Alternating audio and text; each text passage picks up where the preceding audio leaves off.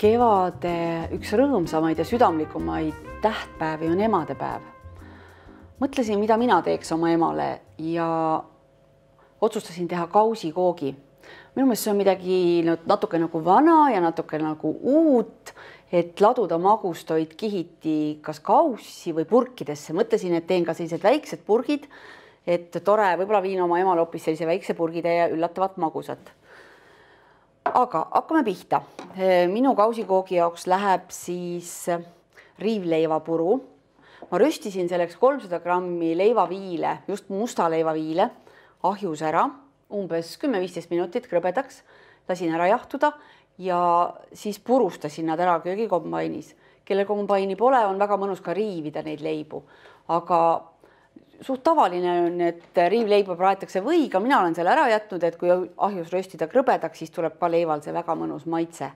musta leivapuru on siis valmis. üheks kihiks on mul külmutatud kirssidest keedetud moos ja kusjuures see moos on keedetud moosisuhkruga, mistõttu ma olen teda vaid viis-kümme minutit keetnud, et praktiliselt kõik see vitamiin on siin külmutatud kirsis sees.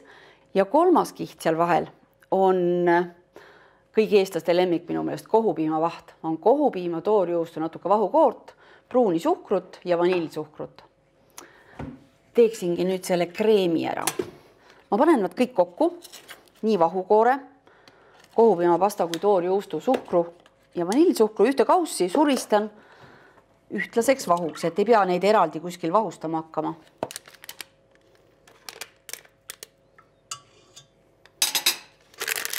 pasta siia hulka. et need kogused on siis kakssada milliliitrit ehk üks väike pakk vahukoort, üks kohupiimapasta kolmsada grammi ja kakssada grammi maitsestamata toorjuustu.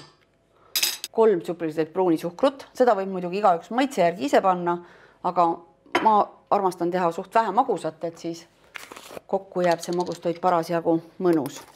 ja kaks tirsutit vanillisuhkrut just selliste mustade täpikestega, et seda õiget ained on kokku mõõdetud, nüüd sulistame selle ühtlaseks kreemiks.